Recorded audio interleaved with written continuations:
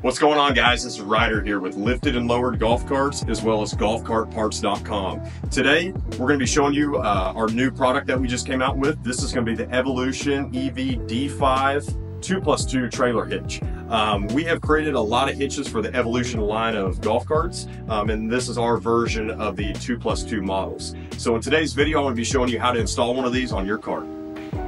So installing this hitch on your cart is to be very easy. The tools required for this job is going to be a 9 16 socket and a 9 16 wrench.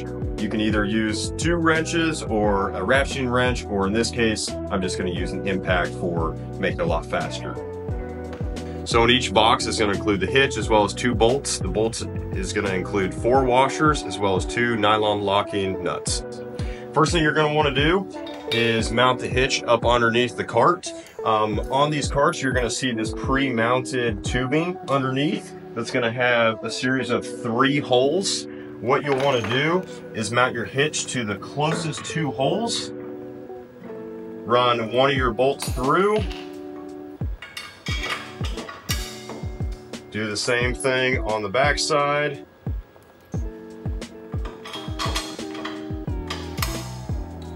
and then go ahead and tighten them up.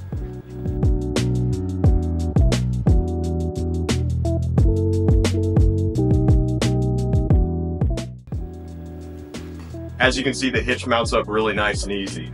These hitches are designed to pull anything from small trailers, jet skis, small boats, or anything that you can hook up to it. Remember to check with your dealer to make sure that installing one of these hitches will not void your warranty. And if you guys have any questions, you can reach us at 417-559-0108 or reach out to us on our online website at golfcartpartswithaz.com.